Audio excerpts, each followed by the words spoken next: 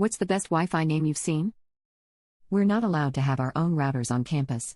So I named mine AT&T Mobile Hotspot. My favorite is it's on the back of the router defined. Chipotle guess there's no Chipotle nearby. I caused a small family panic when I named it Disconnected. My family will suffer more and I'll burn in hell for sure. Disconnected. Connected. Secured. My favorite was Mom. Click here for internet. Totally safe Wi Fi. No spyware. Promise and let it open. Without password. The most notable. And my least favorite. It can hear a masturbating. I lived in an apartment with thin walls. I was really self conscious after that.